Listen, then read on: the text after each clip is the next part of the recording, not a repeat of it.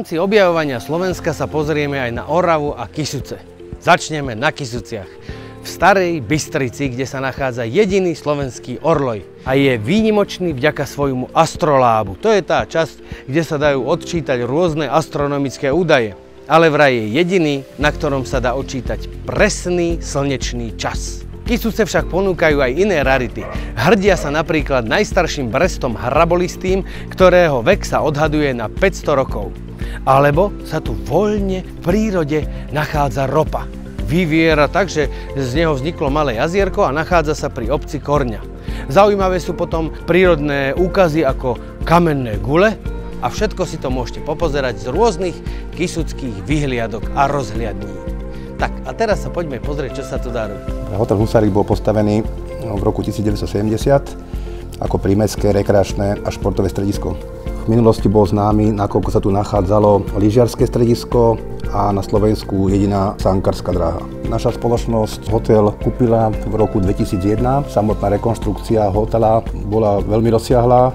V 2007 bol hotel slavnostne otvorený, to znamená, že tento rok oslavujeme jeho 10. výročie otvorenia. Základnou myšlienkou a víziou pred rekonštrukciou bolo prepojiť nejakým spôsobom návštevníka s prírodou a luxus so samotou, ktorý hotel a to okolie poskytuje. To znamená, že snažili sme sa nájsť nejakú cestu, aby ten komfort v tom hoteli si našiel každý návštevník, či to budú rodiny s deťmi, páry, športovci, gurmáni alebo milovníci turistiky.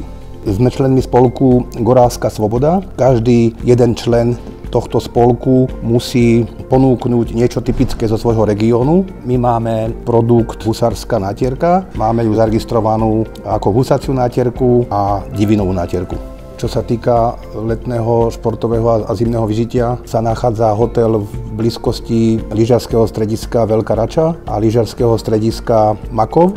V spolupráci s Žilinským samozprávnym krajom sme vybudovali a udržiavame Beskidsko-Javornickú bežkarskú magistrálu. Jej štart je priamo na hoteli Husárik, vedie až do lyžiarského strediska Makov a meria 50 kilometrov v rámci letného športového vyžitia, respektíve turistiky, môžeme spomenúť tú veľkú raču. Je tam adrenalinový park, je tam bobová dráha aj v letných mesiacoch. A čo sa týka nejakej turistiky, tak spomínaná bežkárska trať v lete funguje ako cyklistická trať. Za zmienku stojí kamenné gule Megoniky, ktoré sa nachádzajú takisto v blízkosti Čace.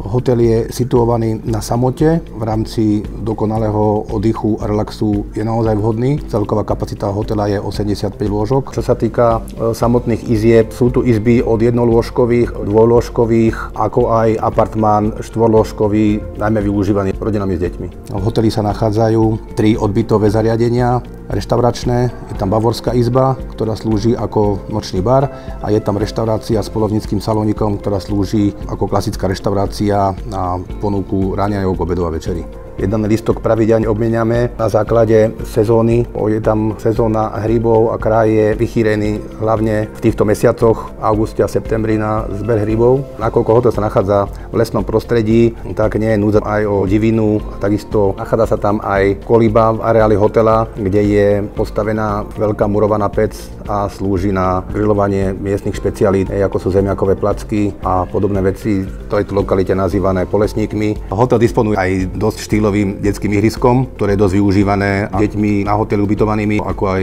návštevníkmi z Čadce, keď prídu. Hotel disponuje aj atypickým wellnessom, v ktorom sa nachádza bazén, sauna a vonkajšia vyrivka. Atypický znamená v tom zmysle, že je poňatý a vybudovaný ako jaskyňa.